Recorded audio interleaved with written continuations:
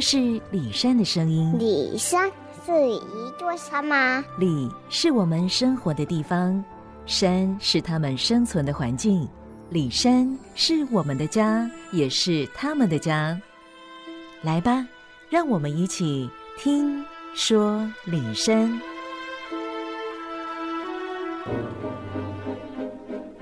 南投一心社区，听一心社区发展协会理事长林佑岑、总干事尤淑珍、水保局南投分局分局长陈荣俊、特有生物研究保育中心助理研究员叶明峰、茭白笋农林伯伯说：“李山。”新社区其实就在南投县埔里镇，属于埔里的北方。那距离埔里镇大概十公里，以务农为主，有茭白笋、咖啡、丝瓜、百香果。那尤其茭白笋为最大宗。茭白笋的话，我们大概就是这种会看到肚子这样子胖胖的啊。茭白笋的茎部这个地方，就是平常我们吃的茭白笋哈啊，就白白嫩嫩的。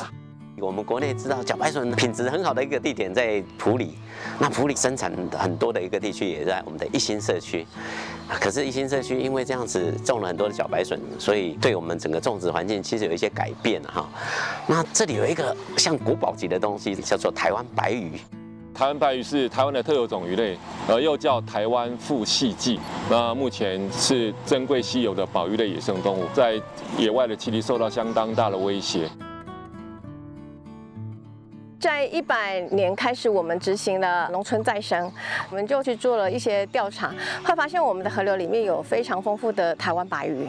台湾白鱼在台湾只有四条溪流里面有，四条溪里面除了台中的石水科溪之外，剩下的三条溪都在我们的一心里，而且就生活在茭白笋田旁边。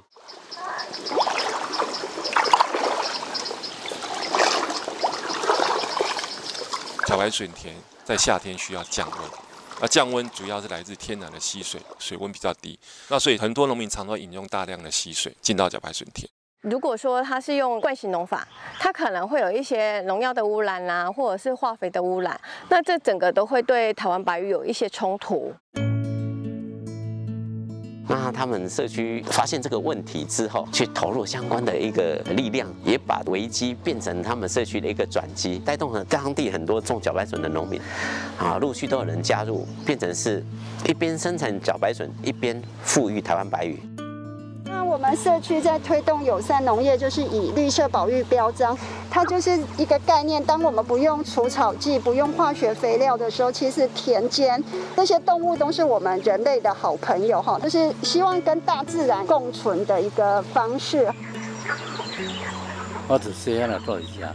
即嘛七十外岁哦，过去阮是做迄换型的，即嘛用做有机的，有机对这土地有对后代人会较好啦。这物件人体嘛较无伤害，爱爱是说想了后 后一代人，无无一代想想咧，啊，无管你后一代是安怎。当河川我们在不断的传达生态保育或者一些对生态的概念，当。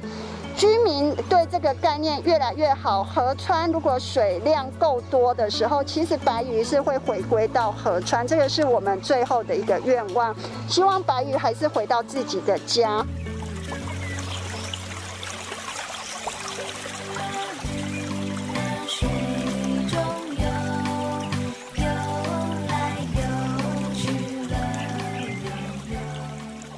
里山的精神很特别哈，就是在我们人的生活空间里面，透过什么样的一个作为，对生物多样性、多元化的一个状况，把它保留下来，共存共荣。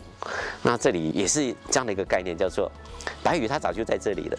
那我们人类也在这边共同生存，中间可能有因为一些过程而影响到这些鱼的生存。那当社区居民发现之后，透过一系列这样藏起来的改变，它就变成他们一个特别的文化，把以注重产量为主的小白笋的生产，变成是以生态保育为主的里山精神的生产。